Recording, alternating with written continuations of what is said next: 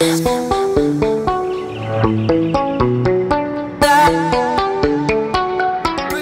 xin chào tất cả mọi người. Chào mừng tất cả mọi người đã quay lại với channel của mình. Thì à, như trước mặt mọi người thấy thì đây có một chiếc MT-10 Rồi một chiếc MT-9, một chiếc MT-7 Ba màu này là ba cái màu mà của năm 2020 Thì màu xám và màu cam là màu chủ đạo của chiếc xe. Cùng với đó là màu đen nữa. Thì à, làm cho chiếc xe rất là cứng cáp nhưng mà trong video ngày hôm nay thì mình không có nói về ba chiếc xe này. Tại ba chiếc xe này nó đã trên thị trường quá là lâu rồi. Mình à, tình cờ bắt gặp được một cái chiếc xe mà có thể nói là người ta thay đổi cái thiết kế trong năm 2020 phía bên tay phải mọi người mọi người sẽ thấy ngay đó là chiếc xe mình cần phải nói. Mình à, sẽ cho mọi người 3 giây để mọi người có thể đoán chiếc xe này là chiếc xe gì.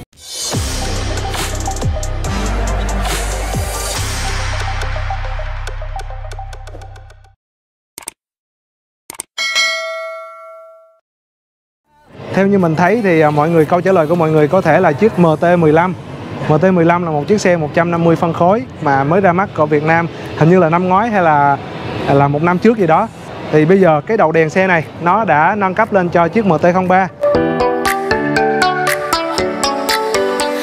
Ok bây giờ mình sẽ nói cái phần giống nhau trước. Thì uh, chiếc xe này á bánh xe rồi bô rồi uh, phần đèn hậu tất cả mọi thứ đều uh, giống như lại uh, chiếc xe MT03 và người người anh em của nó là chiếc xe R3 cái phần khác biệt thì nó chỉ là cái phần đầu thôi. Còn lại mọi thứ là camera có thể xoay một vòng qua phía bên này. Thì à, toàn bộ mọi thứ là phần khung sườn rồi phần à, phần à, ống dẫn à, ống dẫn nước như thế này rồi bô rồi tất cả các ốp lưng gác chân đồ. Toàn bộ là nó, nó giống với lại à, chiếc MT03 cũ và cũng như là chiếc R3 cái phần khác biệt duy nhất đó chính là phần đầu.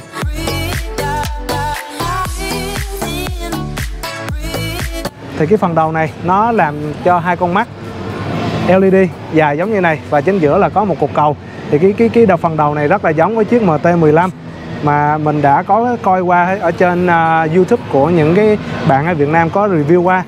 Rồi phía bên này là nó có cái hốc gió. Đó là những cái điểm mà lớn nhất khác biệt nhất của chiếc xe này. Và đối với mình thì uh, nó hơi không cân bằng xíu tại vì cái phần đuôi á, của chiếc xe này nó khá to nhưng mà phần đầu của chiếc xe này thì nó lại khá nhỏ.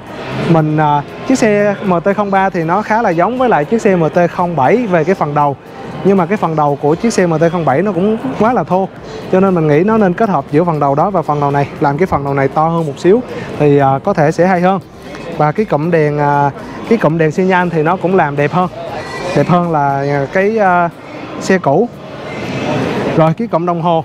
Mình à, chưa có à, mình chưa có dịp trải nghiệm cái cộng đồng hồ hoặc là thấy cái cộng đồng hồ của chiếc MT03 nhưng mà nếu mà so sánh với lại cái cộng đồng hồ của chiếc à, uh, 2015 thì cái đồng hồ này nó khác và mình nghĩ là nó hiển thị uh, toàn bộ là đều uh, bằng điện tử. Còn cái phần đồng hồ mà của R315 à, xin lỗi mọi người R3 2015 thì nó hiển thị bằng kim trên uh, bình xăng thì nó có một cái logo của MT03 và cái phần bình xăng này đối với mình thì nó bằng nhựa thì cho nên cái này nó rất là dễ chày sau này. Nó sẽ dễ xuống cấp hơn là phần bằng nhựa như thế này.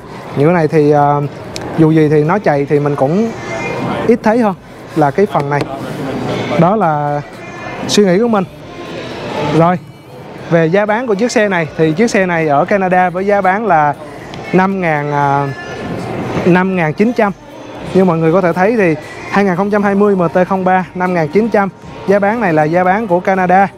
Và uh, cái thông số cơ bản thì chiếc xe này nó vẫn là 321 cc ngoài ra thì uh, mình xem coi thử có cái gì khác hay không. Lớp trước và lớp sau vẫn như nhau. Chiếc xe này cũng có trang bị ờ, uh, ABS ABS của cái uh, tháng sau và tháng trước luôn. Kể cả cả hai đều có ABS ngoài ra thì uh, theo như mình thấy thì cái phần này nó cũng hơi khác một xíu với cái uh, chiếc xe cũ. Rồi đó là những cái uh, khác biệt. Không biết là không biết là ở Việt Nam khi nào sẽ mở bán chiếc xe này nhưng mà đây là một chiếc xe mà đã người ta đã có và trưng bày ở trong cái Motorcycle Show của năm 2020 và đây là hiện tại là tháng 1 đầu năm. Thì uh, nếu mà Việt Nam chưa có thì mình nghĩ trong vài tháng tới nữa thôi thì nó sẽ có rất là nhiều chiếc xe được nhập về. Thì ở đây nó có ví dụ như Ducati Swift Fighter rồi có chiếc Z à, H2 tất cả mọi thứ thì mình nghĩ sẽ về Việt Nam sớm thôi. Ở bên này thì uh, nó trưng bày nhưng mà khi mà mình cần mua thì nó cũng không có sẵn mình phải order. Rồi đó là video của mình ngày hôm nay. Cảm ơn mọi người đã theo dõi video. Hẹn gặp lại mọi người trong những video tiếp theo. Bye bye mọi người.